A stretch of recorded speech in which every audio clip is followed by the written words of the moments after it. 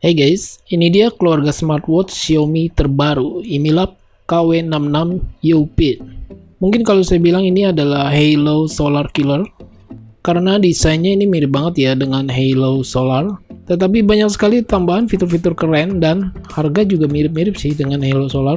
Untuk harganya ini 590.000 di Indonesia. Kalau di website luar nih saya lihat ada yang jual sampai 48 dolar atau 59 dolar ya dan ini dia smartwatchnya.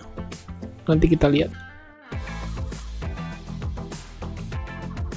Di sini ada kabel charger magnet 2 pin. Untuk kapasitas baterainya ini cukup lumayan ya guys. 360 mAh. Yang tertulis baterainya ini bisa bertahan sampai 30 hari. Mungkin dalam mode standby tanpa terhubung ke bluetooth. Di user manualnya kita lihat dia memakai aplikasi Glory Fit. Nanti kita coba lihat dan pairing Oh ya, buat kamu yang belum subscribe, jangan ragu untuk subscribe dan nyalakan lonceng karena cuma di channel ini saya membahas smartwatch dan jam tangan. Siapa tahu bisa mendapat referensi sebelum kamu membelinya.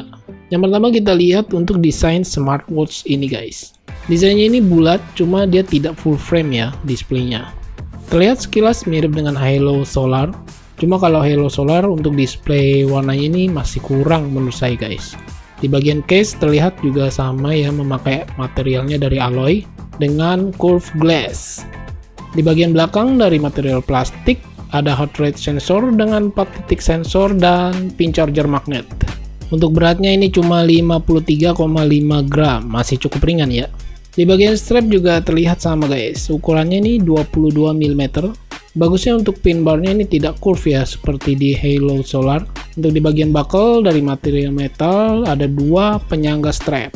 Sekarang kita lihat ke bagian displaynya nih guys. Ukuran displaynya 1,28 inch dengan resolusi 240 x 240 pixel. Dia masih TFT color screen dengan Bluetoothnya 5.0.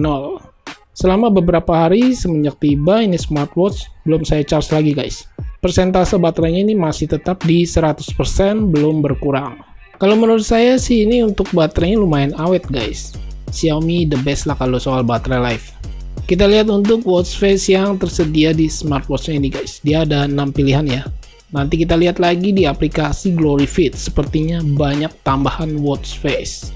Untuk ubah brightness cukup slide ke bawah aja tanpa harus masuk ke setting lagi. Kita lihat di bagian setting hanya ada reset, power on off, informasi, dan QR code. Di bagian tampilan UI-nya ini terlihat beda dengan Halo Solar guys. Untuk heart rate nanti saya akan tes di akhir video ya dengan alat kesehatan. Di menu exercise tersedia 13 fitur olahraga. Untuk tampilannya seperti ini guys. Tes slide ke kanan untuk pause atau stop. Music control ya hanya bisa play, pause, next, and previews. Kalau saya pakai ini ke tangan saya yang ukurannya 16 cm, di bagian strapnya ini berasa pas banget ya. Tidak kebesaran, cukup nyaman. Cuma di bagian case berasa agak tebal dan besar guys. Kalau saya ukur lebar diameternya ini 44,7 mm dengan tinggi case 51,5 mm dan tebalnya 13 mm. Wadaw, cukup tebal ya guys. Oke sekarang kita lihat ke aplikasinya guys. Glory Fit bisa download di Play Store dan iOS. Tampilannya di seperti ini.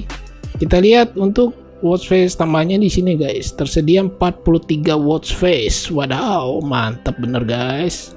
Watch face analognya juga banyak nih guys. Seperti di smartwatch Viata Fitness Soul yang pernah saya review ya. Menggunakan Glory Fit juga. Untuk aplikasi yang bisa dihubungkan ke smartwatch juga cukup banyak di bagian raise to wake up-nya hanya bisa diaktifkan melalui aplikasi ya guys. Ini saya tes remote kamera. Dia hanya di shake aja, digoyangkan smartwatch-nya. Screen timeout-nya hanya bisa sampai 15 detik. Dan kerennya aplikasi ini tersedia dengan banyak pilihan bahasa guys. Tampilan notifikasi masuk di seperti ini. Hanya bisa menampilkan pesan singkat saja untuk notif telepon masuk dia seperti ini guys. Dan terakhir ini saya tes pakai alat kesehatan.